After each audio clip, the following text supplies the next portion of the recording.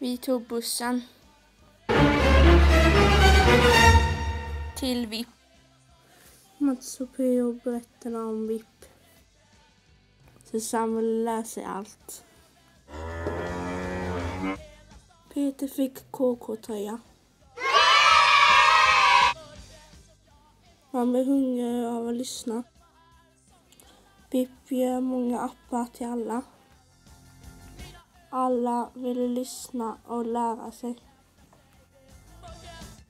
Hjälp ett monster. Nej, P.O. i KK-mask. Karo hjälpte oss med en klassapp. Den blev så här häftig.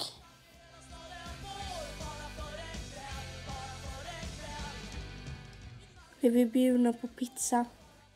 Studiebesöket var roligt. Och vi åkte bussen hem till skolan igen.